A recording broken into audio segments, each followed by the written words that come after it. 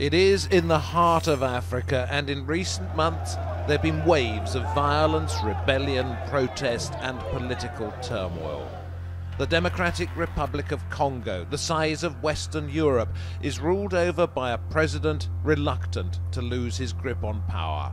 A country trapped in a cycle of state sanctioned repression and ethnic conflict. Could it be on the brink of another civil war? The DRC, once Zaire, and before that the Belgian Congo, is a country cursed by its own natural wealth, sitting on expansive reserves of minerals from copper, gold, and diamonds to cobalt, uranium, and oil. The Congolese should be rich.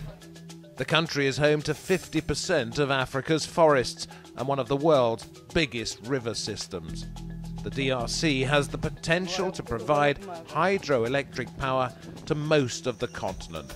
But most of its people live in extreme poverty, earning about $400 a year. About 4.5 million people are internally displaced by conflict, and another 750,000 have fled abroad. The country is also facing epidemics, including the worst outbreak of cholera in 15 years.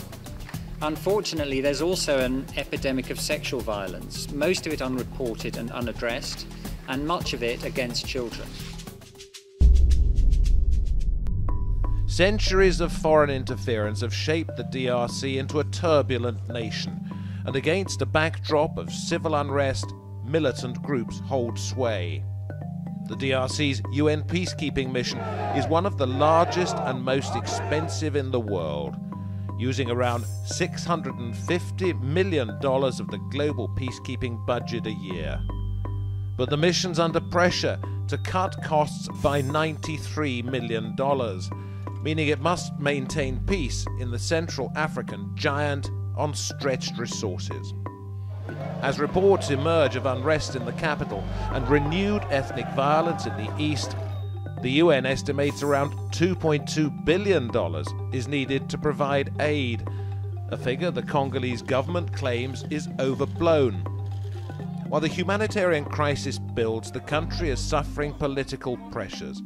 President Joseph Kabila has overstayed his two terms of presidency and promised elections have so far failed to materialize.